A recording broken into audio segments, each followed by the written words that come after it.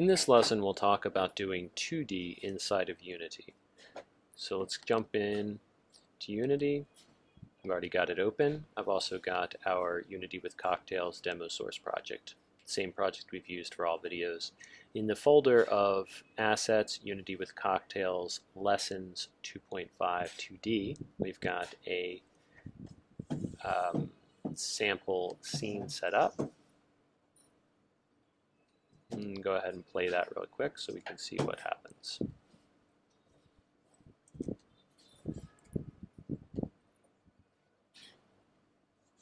Okay, I've got a character walking along.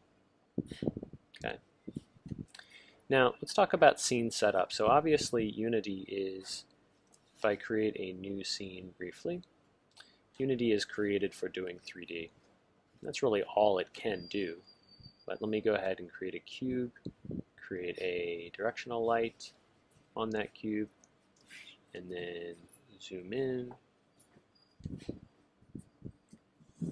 and grab our camera, and I will align with view. Align with view is very helpful. It makes the selected main camera uh, game window look just like the scene window. So when I click that, it mimics the scene view over here. Very useful way to move your camera. So if I go ahead and press play, you know, just like you would assume, and like in our past videos, we were rendering a 3D view. We're able to see three of the sides of that cube. Right? Even if we move our camera around so that it looks dead on, and then go ahead and do the same trick, align with view we're actually seeing some distortion there because we're looking at a 3D view, right? And if we go to the camera selection and look at the camera component, we have lots of options here. Clear flags allows us to uh, decide what should not render in the object, what is actually the background. Okay, so we'll leave that as the default. You can change the background color here something different if you wanted. You can um, have certain things not render. So by default, everything will render. But if you wanted something to not render in a view for any reason, you could um, you could do that there. Uh, then we'll skip these for a moment because that's the meat of we want to get to. Uh, inside the clipping planes, this says that if anything is 0.3 units from the camera or further, it will render. And if it's 1,000 units away or closer, it will render. So if you move this value to, say, 10, and then start shrinking it down, we manipulate the view here like that. Oops that one. I'm going to choose this far value. Yeah, just like that. So when far is too low of a value, you can see it doesn't even render the whole cube because the cube is, maybe its closest point is about two units, but its furthest point is you know maybe three or four. So we're not rendering the whole thing. So the default values is actually going to render all the way behind the cube and much, much, much further into a thousand spaces in the background. In general, you want to leave those the same value.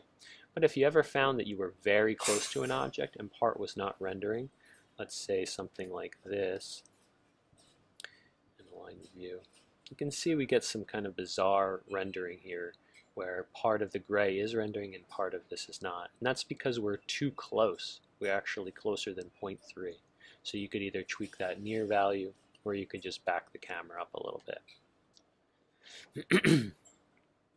Um, yeah, there's some other settings there outside the scope of what we want to talk about. The core for, for thinking about 2D gaming inside this 3D tool of Unity is the projection. So by default we're using perspective, which means objects that are farther away in 3D space look smaller.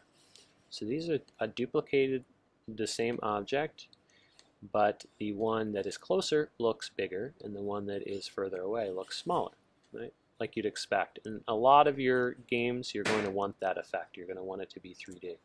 However, if you're doing 2D gaming in Unity, you still render a full 3D scene, but what you want to do with the main camera is change to what's called orthographic. And what that's going to do here on the right is that's going to make objects even further from the screen or closer to the screen, it's going to make them the same size. And then I'm going to change how kind of zoom level we are and set that this way. So now you can see the left view is perspective, but the right view is not. It's what's called orthographic, right? So that gives us kind of an ISO look or a two and a half D look, and that might be useful for your games. Now if we move the camera perspective perfectly uh, from the side, which I can do with the camera more easily by going to transform and setting its rotation to say 0, 0, 0. With orthographic, a size that is appropriate to the scale you want, and a camera locked at 0, 0, 0, we're able to stare straight at the sides of these objects, and even though one is further than the other, the size appears to be the same. and that's likely the setup that you want for your camera in a 2D game. Okay, so let me jump back into our project. And that's exactly the setup that I've got here. I've got a projection of orthographic, a size of 10, which you can tweak that around. That's just the zoom. You're going to want to set that once and just use it. And then um, we've got the camera locked in at 0. In this case, I've got 0, 0, 0. Okay. Now, what do we do? Do we want to put a bunch of cubes out there? You certainly could put text textured cubes into your scene and use them. But if you think about a cube having six sides, we don't necessarily want to render all six of those sides. So what developers did traditionally was use the plane. Some developers would create their own custom solution, but one default optimization is, okay, I don't want a whole uh, cube, so let me just use a plane. Okay, but you can see actually by looking at this, there's a lot of geometry in a plane. Every one of these triangles is uh, something for the renderer to think about. So luckily, in the latest version of Unity, which I'm running right now, 4.2, they added a quad object. In a quad, if I was to create a new quad here, available in game object create other quad, you can see it's two triangles. Right? So it's a it's an optimization on the idea of using a plane, which is too many triangles. So here the computer processing only needs to think about rendering two triangles. Okay. So I've used a uh, cube here. Sorry, I've used a quad here. And then I've added a texture to it. And that texture is, let's take a look at it, materials. Um, it's an unlit transparent, or you could just do unlit texture. Okay, That means that we don't need to light it, we just want it to be fully bright. And depending on the way you want your game to work, you might choose a different shader. But for me, that works great. And then uh, I'm actually mapping this object onto it, which looks like two people, uh, one where his legs are apart, and one where his legs are together. So how do I actually get just one guy on there at a time? Well, on the quad itself, uh, sorry, on the material maybe? Let me take a look here. Yeah, on the material itself, by clicking the title, we can see that by default, with a tiling of 1, it puts the entire image onto that surface. Okay, but what the trick we want to do to do animation is I've got that object is um, 300 by 300, where the left half is one character and the right half is another. So by setting tiling in the x to 0.5, it's just going to render the first half. Then I've got some code onto uh, this quad animation component. We're extending MonoBehaviour I've set up a few variables for counting. And let's take a look. So on update, I'm going to count up current count by using the plus plus. Every time it reaches max animation count, which is 10, I'm going to step into this loop. I'm going to reset counter. So the line 86 to 89 is just going to say count to 10, and then do what's inside the if. Then count to 10 and do what's inside the if.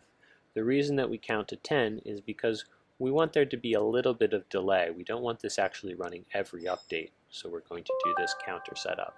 If we increased max animation count to 20, we would see the animation appear to happen slower. Now, to do the animation, we're going to change that texture offset, same value that we saw in quad um, texture, this same value here, I'm changing that offset. I'm changing it by 1.5 each time. Um, so I experimented with the values there, and what we're doing is, you can imagine that we're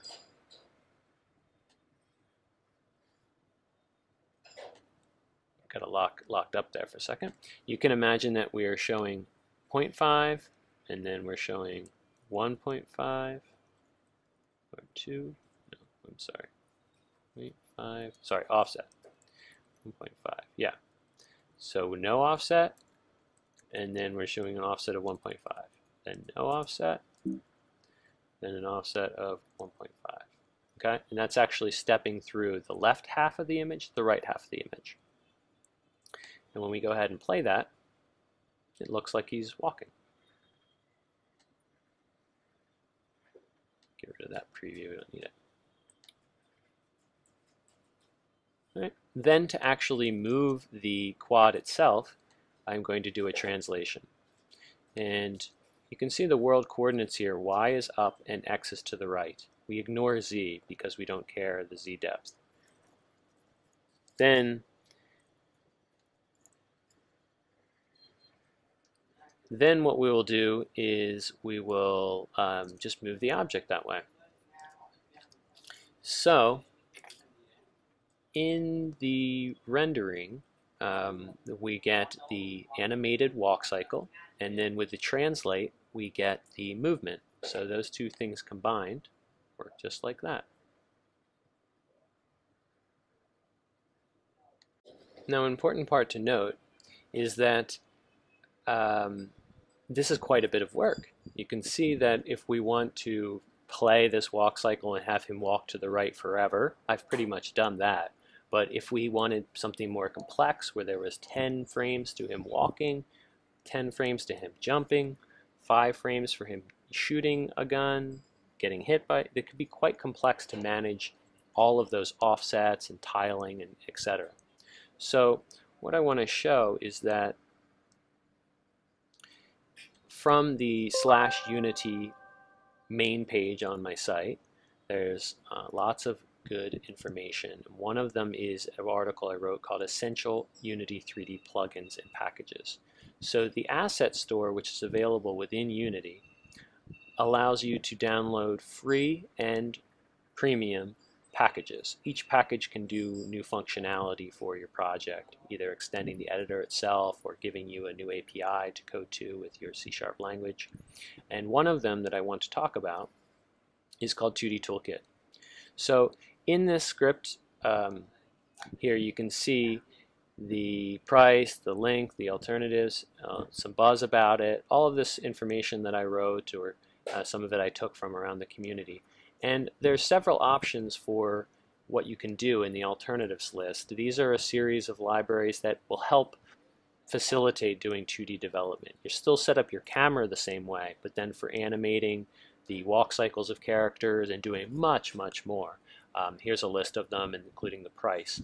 Um, there's a lot of momentum around 2D Toolkit. Um, they're releasing versions quite quickly, and it's very capable. And at a price of 65, there might even be a, a sale going on where it's where it's been discounted uh, at this time. You can check it out from the asset store link here and jump right in. And what that's going to let you do is, you know, some of the features are listed here, but you're going to be able to do the walk cycles much more quickly.